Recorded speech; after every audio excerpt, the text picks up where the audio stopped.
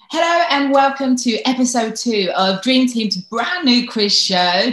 Wait for it for Euro 2020. It's called On the Spot. Yes, I'm Alex Scott, and joining me are three guys you all know very well. It's Sean Burke, Jack Townsend, and Andy Taylor. I'm going to be here throughout the tournament to test your knowledge on things that have happened in Euro 2020 so far. Okay, guys, how are you feeling after the England v Scotland game, and what do you think? Sure, you've got a big smile on your face. What are you saying? well, I, am of course neutral in this. Um, but I, I, I watched it with my housemates on Friday, and one of them is Scottish and the other one is English, and I was just sat in between, and it was just so funny seeing the polar opposite reactions to the same results for either team. Scottish housemate was jumping for joy as if they'd won, and then the English housemate was just pure sorrow. That's the thing, though. I suppose from the Scotland point of view, it does feel like as if it was a win for them. It was massive. And they've still got a chance as well now. I mean, they just need to win their final game. Oh, to play for. Well, guys, everyone at home, we want you to play along as normal. Let us know what your final scores are in the comments below. On screen now are the current standings. And Sean has taken an early lead after his surprising dominant performance in the show. And Andy, I know you're already looking down the left side about your performance better. the Dream Euros fantasy football game is also well underway, and you have 20 transfers to use whenever you want throughout the tournament. So make sure you use them to give yourself a chance of getting your hands on the 50,000 prize pot.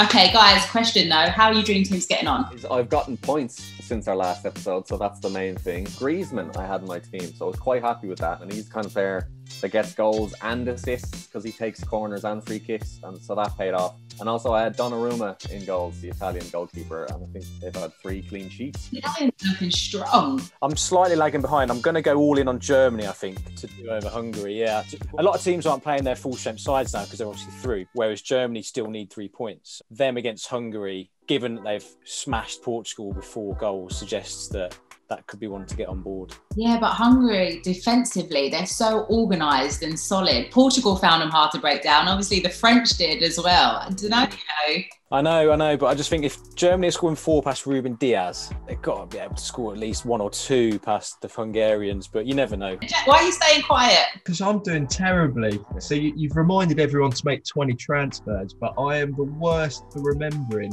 to make transfers. Okay, guys, it's the same as last time. Quiz shootout, five rounds, one winner. And finally, if you're not already following Dream Team on all platforms, then hit that subscribe button right now. Okay, shall we kick things off? Question one. On Friday, we watched Scotland beat England play out a nil-nil draw. That was a nil-nil draw. Despite not scoring, the Scots went home feeling like they'd taken something from the game. Can you tell me what export Scot has scored the most Premier League goals? Uh, Look out the window, Jack. It's not going to help you. I know. I'm just looking for answers somewhere. Names down. Have we got any? Got something down. Okay, right, Jack. I'm coming to you then. What have you got? My mind went completely blank there. I've just gone for Scott McTominay. I know he scored. He's not going to get anywhere near this. All right, Andy, who you got? I'm going for big Duncan Ferguson. I feel like he's got his head on quite a few goals. Sean? I panicked, and uh, just because he's been doing a lot of commentating lately, I said Ally McCoist. We all have a bit of Ally McCoist on the commentary. But guys, the answer is in. Andy, you're right. It is Big Duncan Ferguson. Get in there. Talking about the England Scotland game, what individuals impress you the most? Well, it's got to be Billy Gilmour, right? I think everyone just enjoys those players these days. It's quite nice to see. You know, say like how Kante gets a lot of recognition for just kind of a, a lot of the work off the ball. I think it's quite fashionable now for people to spot those players, whereas 10 years ago it was more just about whoever scores the most goals, we just give the man of the match award to. So I think it's quite refreshing to see someone like him take the man of the match award away. I have to like do a shout out for my Arsenal guy though, Kieran Tierney. Just his energy and just you know he's one of those players that plays like with just full passion and heart. And I think there was one bit where him and Phil Foden were like marking each other on a corner.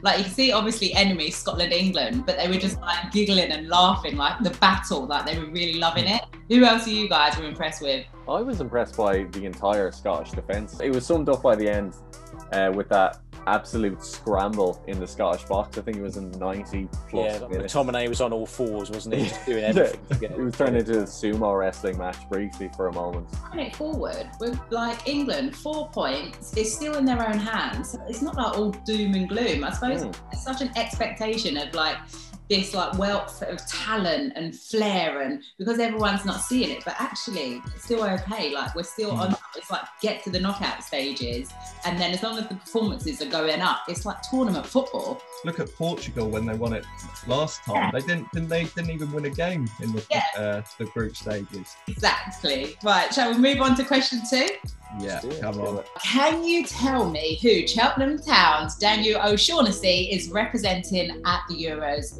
And for a bonus point, Sean, I'm looking at you. Can you tell us who he isn't? I'm sure I saw something about this pop up on my timeline. What timeline have you got going? Who you following? Random Irish crap. Sean, I'll come into you last then. Right, Jack, go on. You always look so like surprised and looking out the window, trying to find inspiration. I know it's not Ireland. Do you know, I went with Austria for some reason. Andy, I think it's Finland. I've, I'm sure I've seen him line up in a Finland game that I've watched. Sean. I said the same. I said Finland, not Ireland. Sean knows his stuff. The answer is Finland.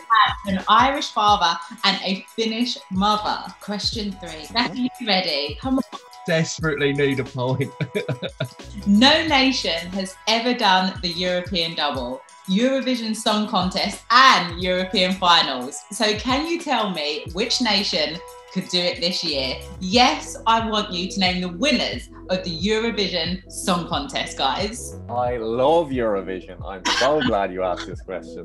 Almost got taken away from him as well. Oh, Townsend, did you watch it as well? Go on then, Andy, we're starting with you. Gonna go Hungary.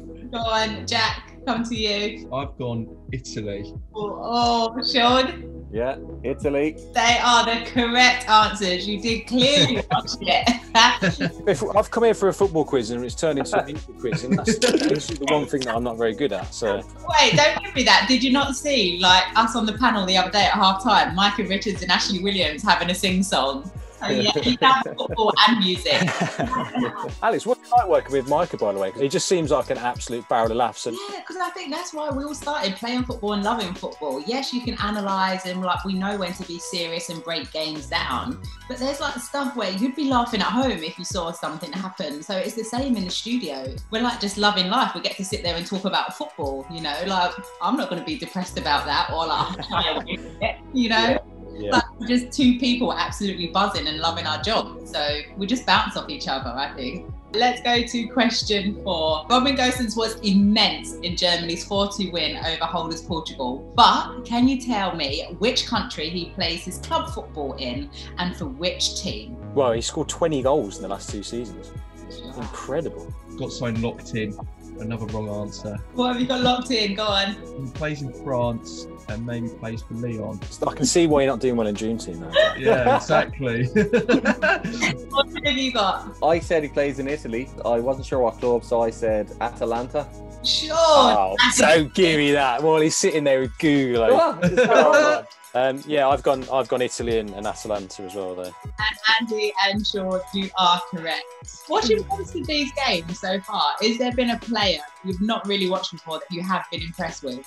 by Isak up top for Sweden. It's just the fact that he's 21. He's scored goals in a very good league already. He's got the most dribbles of um, anyone in the, the second round of fixtures as well, which is always like a good thing. I think that's kind of one of the things that England get criticised for is the the lack of taking on players. You know, like actually just taking a risk, and that looks like exactly what he wants to do. Because I was doing that game with Micah actually, and Micah was like nearly out of his chair at one point because he picked the ball up on the halfway line and like just kept dribbling and dribbling. I think he nutmegged a player, and it was just the only thing that was missing is I think he hit the side netting at the end of it all. He was like their go-to magic player. You could see every time the ball was going to go to him, that they were going to create something. Question five. Jack, I, don't, I feel like you're that underdog that everyone's rooting for. We need like sort of a golden goal kind of question here. So uh, winner takes all for this one. Question five. Come on, Jack. The last time England played the Czech Republic was to qualify for this tournament. We won 5 0 at Wembley, but can you tell me who scored a hat trick in that game? Go, go, Gary Cahill again. That did you well last time. There's one really obvious potential answer. well, this is it. How can it not be? How can it not be that one? How can it not be? I think that's what they're trying to throw us off the scent with. Mm. Okay, Sean, I'm coming to you now. Who have you got? Uh, I went for the obvious and went Harry Kane. Andy? It's got to be Harry Kane. Jack, you going same or different? I've gone Gary Cahill again. No, um, um, um, um, Harry Kane as well. Guys, it is not the correct answer. It is actually Raheem Sterling. Oh, Yeah. I remember that at all. That's why Gareth Southgate is sticking with him. Yeah, fair play.